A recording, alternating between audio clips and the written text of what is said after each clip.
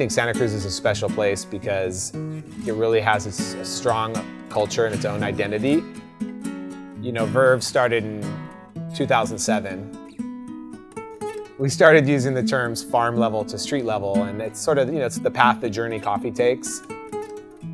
At farm level, you know, we're buying coffee from small farmers that are producing, you know, just enough coffee to, for us to have on our menu for a month.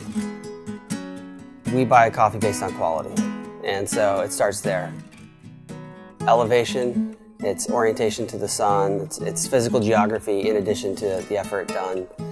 Our process is to then, you know, keep it as clean as possible all the way until it's in, in a bag for a consumer.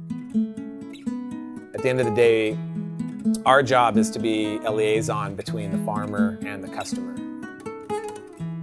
Our business model is based on us giving it our all, focusing on quality and focusing on the hard work and not taking the slant route just to a bottom line. The two brands, Verve, CrossFit, you know, Roots in Santa Cruz, so many of our staff are, are CrossFitters.